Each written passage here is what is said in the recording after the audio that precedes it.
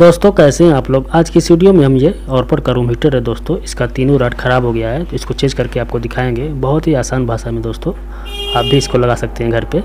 तो इसको सबसे पहले ये इस राड को दोस्तों यहाँ से हल्का दबाएँगे, ये बाहर आ जाएगा, ऐसे।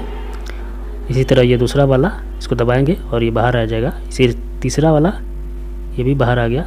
ये तीनों राड ख़राब हो गया है तो इसको आपको चेक करके दिखाते हैं दोस्तों, कैसे चेक करना है। अगर आपके पास सीरीज़ बोर्ड है तो यहाँ पे लगा के और जो राड की पिन है, ऊपर नीचे, इसको लगाएँगे और यहाँ से बारी बारी तीनों को चेक करेंगे दोस्तों, ये तीनों राड ख़राब है। अब इसमें हम नया राड लगा के आपको दिखाते हैं दोस्तों तो ये तीनों राड ख़राब है।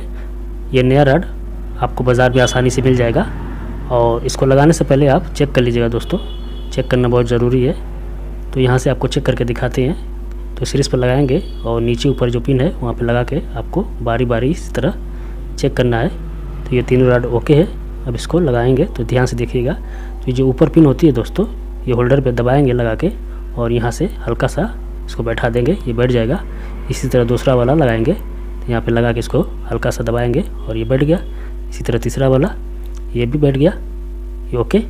अब ऊपर की ये जाल लगा देंगे, ये लगा के बैठा लेंगे, और ऊपर पिन क्लिप होती है, पिन होती है, दबा देंगे।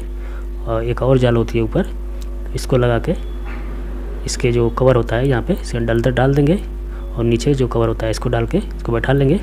अब साइड वाला कवर लगाएँगे। ये जो साइड वाला कवर होता है दोस्तों, यहाँ लगा के ऊपर स्क्रू से इसको टाइट कर लेंगे पहले।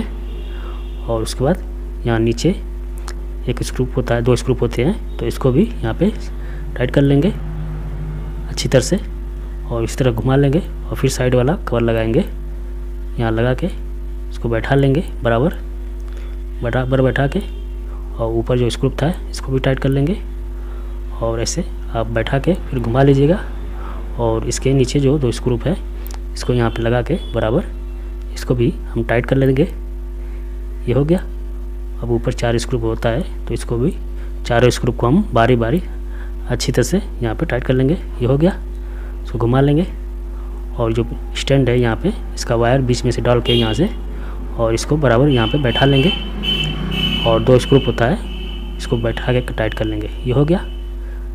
बिल्कुल रेडी अब आपको टेस्ट करके दिखाते हैं। दोस्तों, अभी तक मेरे चैनल को सब्सक्राइब नहीं किया तो सब्सक्राइब कर लें, ताकि इसी तरह की वीडियो आपको बराबर मिलती रहे।